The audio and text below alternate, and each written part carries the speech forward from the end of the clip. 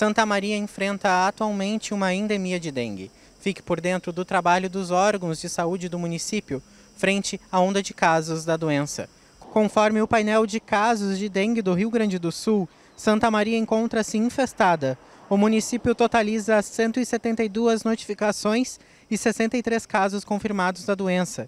71 casos estão em investigação. 57 foram contraídos aqui na cidade e 38 foram descartados. Para denúncias, ligue 5574 0055 25. Além disso, você pode acessar mais informações no site da Prefeitura www.santamaria.rs.gov.br. Para entendermos mais sobre o assunto, conversaremos com Guilherme Ribas, secretário de Saúde do município, e com Alexandre Strebe, superintendente de saúde. Tudo bem, Guilherme? Para entendermos mais um pouco sobre o assunto, que medidas estão sendo feitas para combater, uh, para controlar os casos de dengue no município?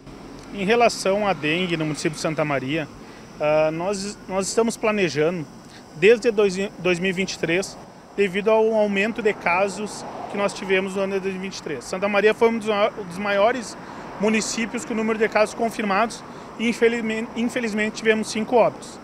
No ano de 2024, nós planejamos já em dezembro de 2023 quais as ações planejadas uh, que o município de Santa Maria como um todo fez. Primeiro, uh, se organizou entre o, o gabinete do prefeito, junto com a Secretaria de Saúde, Secretaria de Infraestrutura, Secretaria de Meio Ambiente, a CELD, que é a Secretaria de Fiscalização, e também a, a juntar ações com o Exército, de planejar no de, dezembro de 23 o planejamento dos 12 meses de 2024. Com isso, o que, que nós organizamos?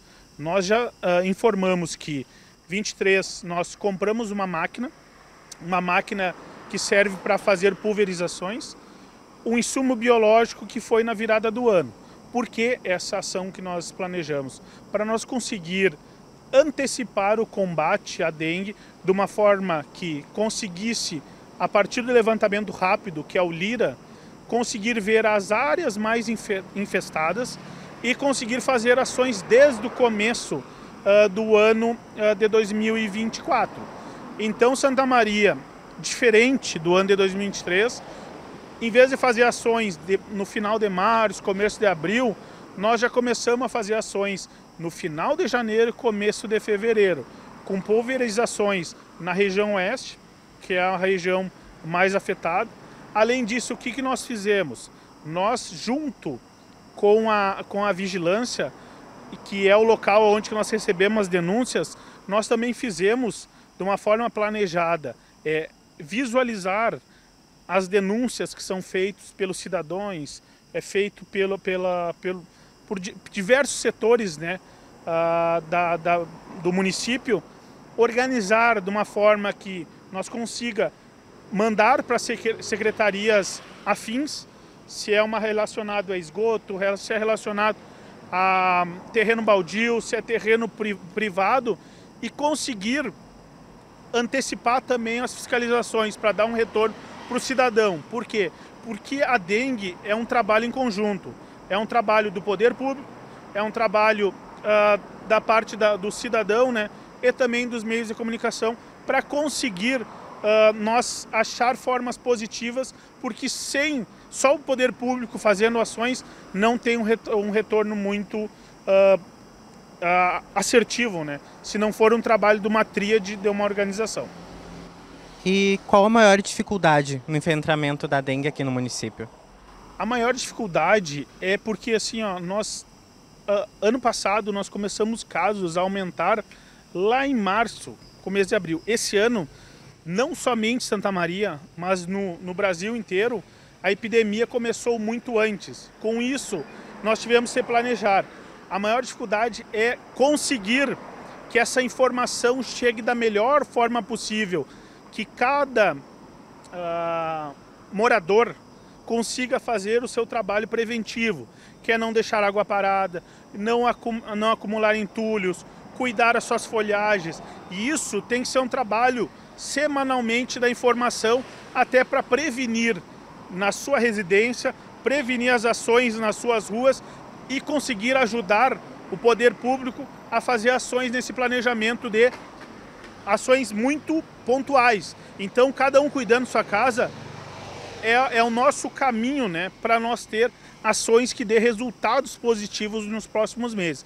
E muitas vezes, quando chegam as denúncias lá na, nos, órgão, no, nos órgãos oficiais, que está vinculado à vigilância atualmente, chegam perguntas que nós todo momento estamos trazendo uh, nos meios de comunicação e também nos meios oficiais da prefeitura.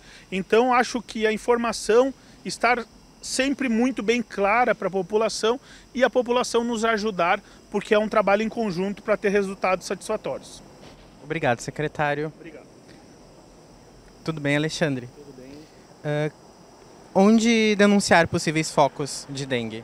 Nós temos um, no site da prefeitura, nós temos um link específico, tá? Denúncias Vigilância em Saúde, né? que todo cidadão pode recorrer a esse site, clicar ali e preencher, né? e ele será imediatamente, ou mais breve possível, atendido. Né?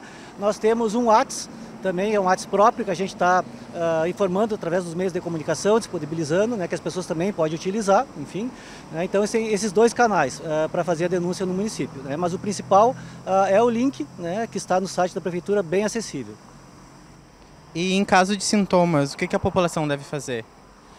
Todo sintoma né, que esteja de acordo né, com o diagnóstico de dengue, as pessoas devem procurar imediatamente sua unidade de saúde mais próxima, né, ou se for o caso, serviço privado, enfim. Né, não se automedicar, né, porque existem automedicações que podem levar né, ao agravamento da doença, então as pessoas né, com sintomas do tipo dor de cabeça, febre abrupta, uh, dor de cabeça uh, principalmente no fundo dos olhos, dor nas articulações, pruridos vermelhos na pele, né, quando fechar alguns desses sintomas e buscar né, um diagnóstico seguro antes de fazer qualquer uh, automedicação. Obrigado, superintendente. TV Câmara, a tela da cidadania.